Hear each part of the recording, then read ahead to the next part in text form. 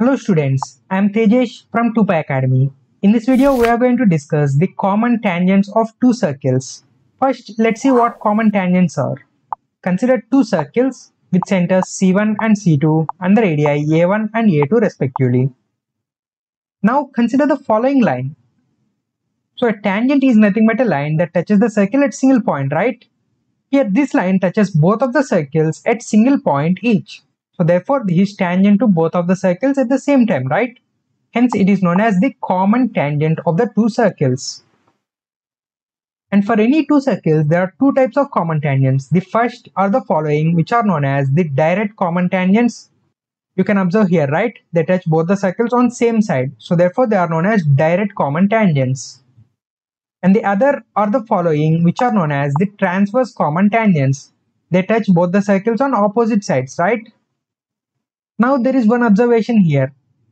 If you draw a line through the centers of both of the circles, and let's consider the points of intersection of common tangents. D for the point of intersection of direct common tangents and T for the point of intersection of transverse common tangents. Now here both of these points lie on that same line we draw before that is the centers of the circles and the points of intersection of the common tangents lie on the same line or in other words they are collinear. Now let's observe the direct common tangents. So you take the center C1, C2 and the point of intersection of direct common tangents D on a same straight line.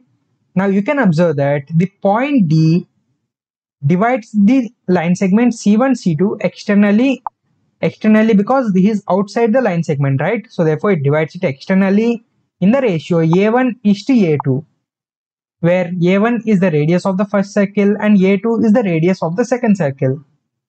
So it divides the line segment joining centers of the circles in the ratio of their radii. So here it divides in the ratio A1 is to A2. It means that C1D by C2D will be equal to A1 by A2. So in this case, you can use the section formula for dividing externally.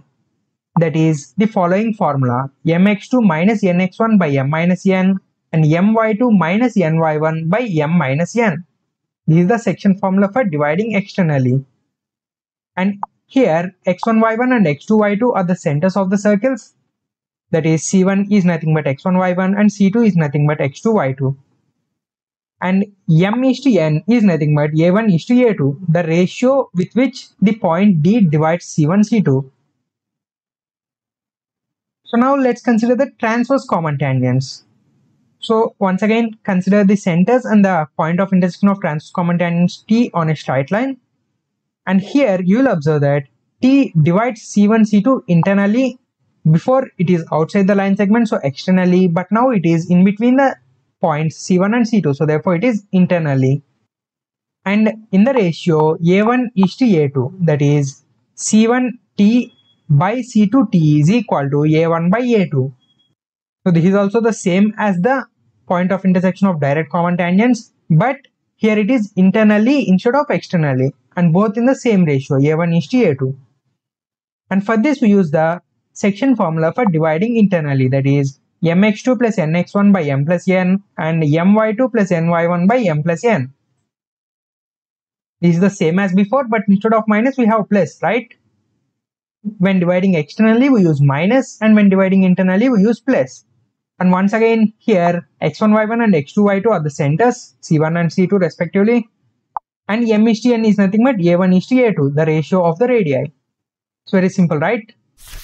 Now let's go to the next topic. Some special cases of common tangents. So first consider two circles with centers c1 and c2.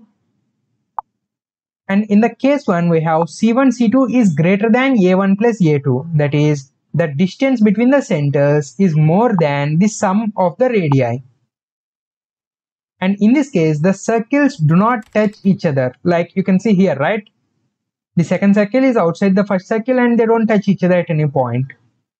And in this case, you can draw two direct common tangents and two transverse common tangents between the circles. This is the general case.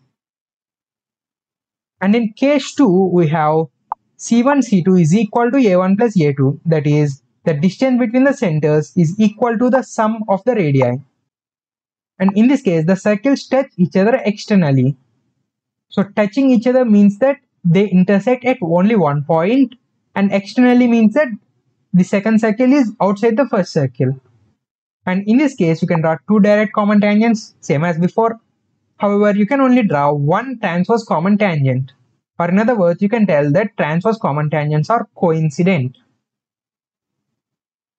And in the third case, we have C1, C2 is less than A1 plus A2. That is, the distance between the centers is less than the sum of the radii. And in this case, the circles touch each other or the circles intersect at two points. You can see here, right? They touch each other at two points. And in this case, you can draw two direct common tangents and no transverse common tangents. Or in other words, you can tell that the transverse common tangents are imaginary. They are not real. And in the fourth case, we have C1, C2 is equal to modulus of A1 minus A2. That is, the distance between the centers will be equal to the difference between the radii. And in this case, the circles touch each other internally. You can find this in this case, right? The circles intersect each other at one point and one of the circles lies inside the another circle. So therefore, they touch each other internally. And in this case, you can draw one direct common tangent and no transverse common tangents or you can say the direct common tangents are coincident and the transverse common tangents are imaginary. They are not real. And in the final case, C1, C2 is less than A1 minus A2. That is, the distance between the centers will be less than the difference between the radii. And in this case, one of the circles lies inside the another circle. And in this case, you can draw zero direct common tangents and zero transverse common tangents. That is, all the tangents are imaginary. No tangent is real. Thanks for watching the video. Please subscribe to the channel to not miss any future uploads.